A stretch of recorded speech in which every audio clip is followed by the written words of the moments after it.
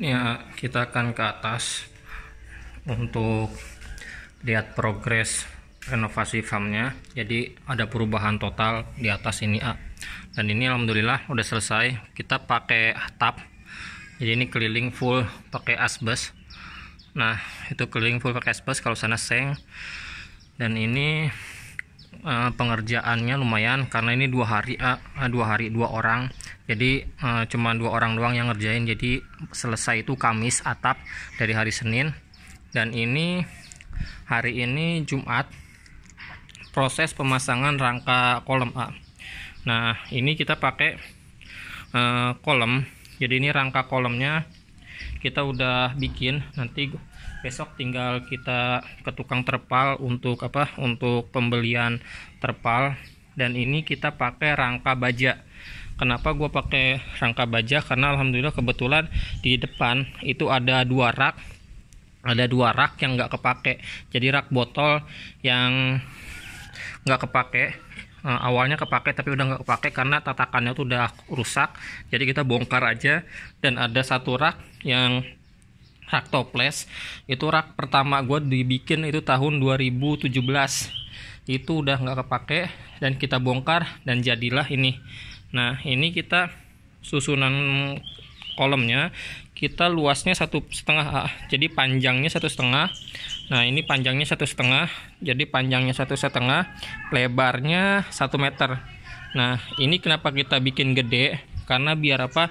Biar bisa muat banyak kak. Biar bisa muat banyak dan utama ikan juga pertumbuhannya cepat. Karena semakin besar eh semakin banyak semakin banyaknya ikan di dalam tempat. Tapi kalau tempatnya terbatas ikan akan lama gedenya bahkan kecentet. Tapi kalau misalnya tempatnya gede seperti ini ikan pun bisa digabung ah jadi enggak satu pasang tapi bisa tiga pasang dalam satu tempat dan itu bisa lebih maksimal. Dan ini kita bikin 5 kolom 1 2 3 4 5 dan ini juga sama nih. Ini juga 5 kolom nah ini juga 5 dan di belakang akan dibikin lagi satu. Jadi tiga baris satu baris dua baris tiga baris. Masing-masing sebaris ke sana tuh 5 kolom dan ini 5 baris eh 3 baris tuh 15 kolom di luar 15 kolom dan ini kita bikin lagi ya nih Nah, ini juga sama, kita akan bikin untuk eh, rangka dari bajaringan juga. Dan ini panjangnya ke sini kisaran 2 meter. Ah. Jadi dari sini 2 meter. Jadi ini lebih besar lagi. Jadi lebih besar biar apa? Biar hasilnya juga lebih maksimal. Nah, ini juga sama. Pokoknya nanti kita akan bikin di sini eh, kalau kemarin kan di sini ada bak. Nah, baknya kita taruh di luar ah, tuh. Baknya udah kita taruh di luar, jadi udah rapih di luar, udah kita susun Nah, udah kita susun di luar. Nah, ini di dalam akan kita taruh uh, bikin kolom rangka dari jaringan tetap kita pakai terpal. Karena kalau kalian masih ingat ini dulu kolom semen semua ini kolom semen ngebaris semua. Tuh itu bekasnya juga tuh. Ini bekas bekas kolom semen semen permanen. Tapi kita bongkar total. Dan ini bobong kartu karena setelah prosesnya selesai kita langsung ngebrit total keisi semua full kolom semen. Ternyata saat mau panen ikan gampang banget kena sakit kena penyakit nggak pernah panen. Selama kita ngebrit pembesaran di kolom uh, semen. Dan kita uh, putusin waktu itu untuk dibongkar total biar bisa maksimal lagi dan alhamdulillahnya setelah kolom kita bongkar dan kita ganti sama media bak alhamdulillah kita udah pernah ngerasain panen berkali-kali dan bisa jadi rezeki. Dan ini kita akan bikin kolom lagi tapi pakai kolom terpal. Jadi biar apa? Biar lebih maksimal lagi karena kalau pakai semen berarti kita mengulang kesalahan yang dua kali.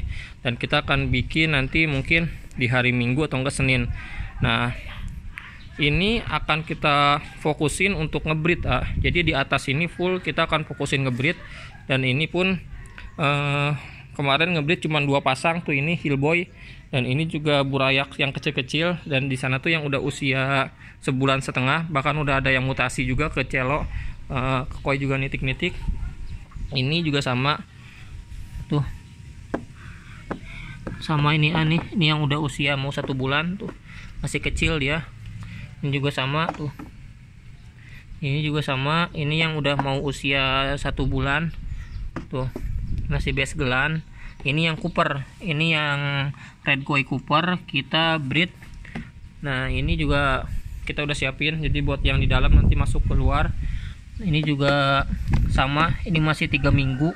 Jadi masih kecil-kecil tuh ah, nih. Ini masih tiga minggu. Ini satu induk alhamdulillah banyak kak.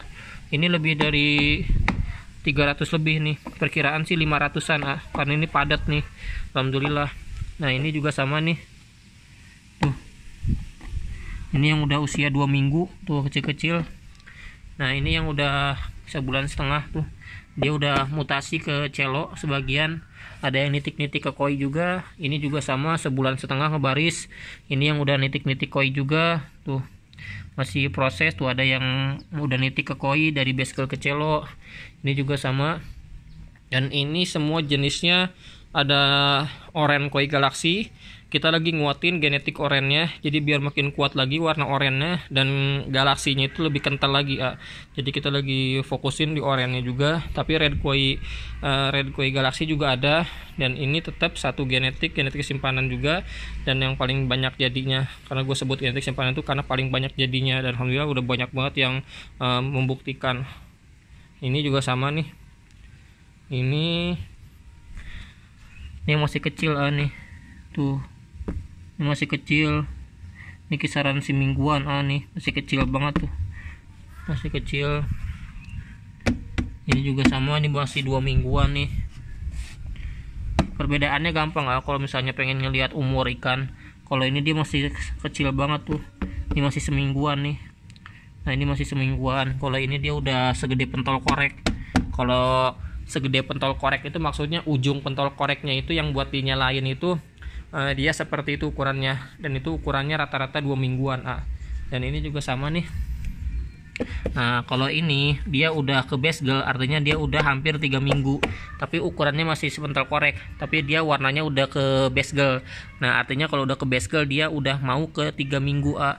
Jadi kelihatan umur itu seperti itu. Kenapa gua tahu? Karena udah keseringan ngelihat umur ikan ah. Nah, ini masih semingguan, masih kecil. Itu juga sama apa masih sebulan setengah jadi masih proses mutasi. Dan besok Sabtu paling pengerjaan untuk uh, kolam rangka ini. Jadi biar apa biar sebaris lagi di sini. Jadi biar 15 kolam di luar panjangnya 1 meter lebarnya 1 meter setengah kalian bisa bikin ah, rangkanya pakai baja ringan bisa pakai besi juga bisa. Kalian bisa cek aja breeder-breeder yang pakai besi. Gue juga sebenarnya pengen pakai besi cuman karena apa uh, kalau pakai besi plus. Nah kalau pakai besi dan besi itu dia harus di uh, las. Jadi nggak pakai bor juga jadi harus pakai las juga. Dan itu lumayan dananya karena kita untuk uh, nipisin budgetnya jadi biar nggak pengeluaran banyak. Jadi kita pakai uh, yang ada kita bongkar. Karena dia nggak kepake rangka raknya jadi kita bongkar untuk jadi rangka kolam dan ini cuma dibor aja jadi dibor di cutting pakai mesin potong gurinda dan ini cuman uh, apa beli uh, yang adanya aja terpal karena paku ruping juga udah ada. Dan ini bisa minim budget jadi lebih hemat karena kita pakai alat yang sudah ada. Tapi kalau misalnya kalian beli baru baja ringannya itu lumayan. Sebatangnya itu di sini udah satu batangnya itu 105.000 ah jadi sebatangnya itu 105.000 dia 0,75 rangka uh, baja ringan tuh udah lumayan naik harganya dari dulu. Dari pertama uh, 0,75 itu harganya sebatang cuman 70.000 sekarang udah 100.000 bahkan yang 100.000 itu dia yang tipis. Kalau yang tebel dia beda lagi harganya beda 10.000 tapi kalau di tempat kalian kalau misalnya lebih murah itu alhamdulillah. Tapi kalau di sini kemarin gue beli baja ringan sebatangnya itu buat apa buat di depan itu butuh 16 batang nih. Kita beli 16 batang kemarin baja ringan itu satu batangnya kena di angka 105.000 yang 0,75 yang tebal. Tapi kalau misalnya yang tipis 100.000 beda 5.000 doang. Tapi kalau di tempat kalian lebih murah itu kalian bisa lebih hemat lagi. Dan ini kita akan uh, kasih terpal paling besok karena mungkin pengerjaan terpal juga nggak cepat karena juga lumayan. Ini 15 di sini paling kapasitas 10 kolam di sini panjangnya 2 meter lebarnya semeter. Dari sana ke sini paling 10 kolam. Karena ini lebarnya dari dari panjangnya dari ujung tembok ke ujung sini panjangnya itu kisaran 10 meter lebih dikit. Dan ini total ada 25 kolam dan kita nerima plasma.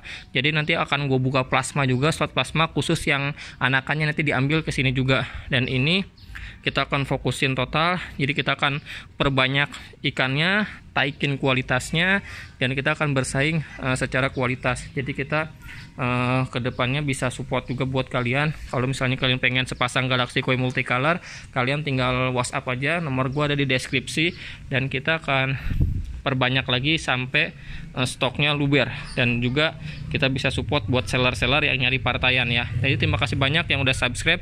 Jangan lupa subscribe jangan lupa dukung channel ini untuk 100 ribu subscriber. Dan jangan lupa uh, follow Instagram gue di galaxycoindonesia.official karena di situ lagi ada giveaway special giveaway. Gue buka itu setiap minggu giveaway sebulan empat kali giveaway di Instagram.